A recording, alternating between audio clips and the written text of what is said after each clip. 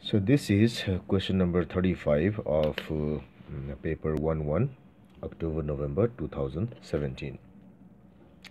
So it says two copper wires X and Y which have the same volume and uh, wire Y has been shown as uh, uh, four times as long as wire X.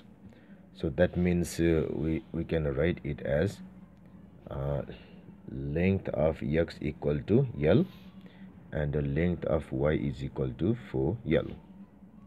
Now regarding the cross section, let us say this cross section is a x and let's say this cross section is a y.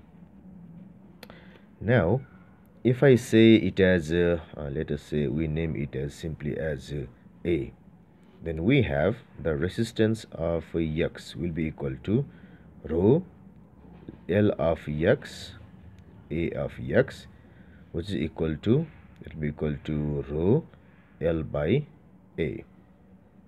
Now here what happens is we have to find out this AY in terms of AX or A first. Since their volumes are same what we can have is volume of Y is equal to volume of X which gives us a y l y. That means cross section of y into length of y should be equal to cross section of x into length of x. It gives us a y is equal to a x l x divided l y which will be equal to ax is simply uh, a. Uh, then lx is simply l and ly is 4L which gives us it as A by 4. So the cross section of AY will be uh, 4 times smaller than that of X. Now what I have is we already have Rx here. Let us go for Ry. It's equal to rho Ly by AY which gives us rho 4L.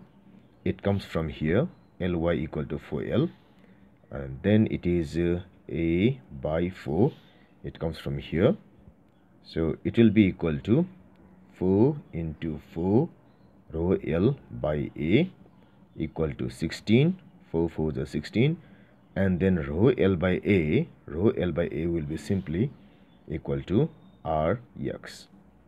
So now the question says resistance of wire y by resistance of r wire x. So we have ry by rx will be equal to 16 rx by rx and it's equal to 16 so uh, the answer of uh, choice number d is the correct one